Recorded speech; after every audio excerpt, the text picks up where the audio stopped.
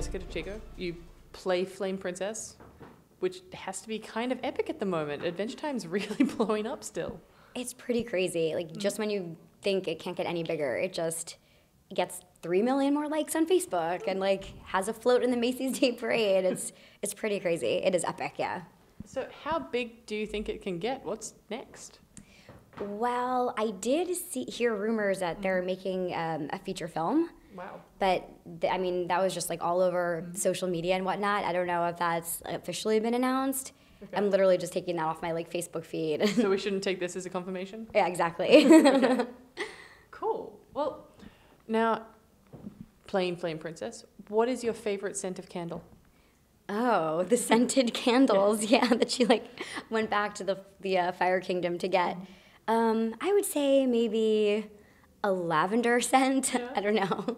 So, not old people? no.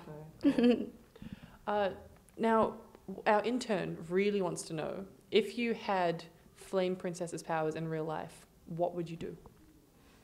Hmm. Well, she can fly, so that's pretty cool. Cool. I think that's the one. That's the power that I would use most. Um, probably just to beat traffic in LA. To be honest, yeah. So traffic would, is awful. Like go camping and just make a whole lot of s'mores? Yeah, I could. yep, I could make like thousands of s'mores at a time. I could just start a factory, be a one woman factory. I Oh, think that would be pretty good. I- I saw that you also did voices for The Sims 4. Oh yeah, which is funny actually. Coincidentally, I'm doing um, that game with um, Hynden Walch, who plays Princess Bubblegum. Oh, cool. Yeah, so we're both like you know working voice actresses, and we record up in San Francisco, Yeah. and then we just like ran into each other, you know, at the hotel. We're like, oh my god, you're you're the other Sim, you're the other Sim, and we've been working on it together for like two years now. Cool. So we've gotten close. Yeah. Which voices in The Sims are you? We play the kids. Okay, Yeah. cool. And you can tell who's who. Like if Yeah. you if you play the game, yeah. Is it difficult to speak Simlish?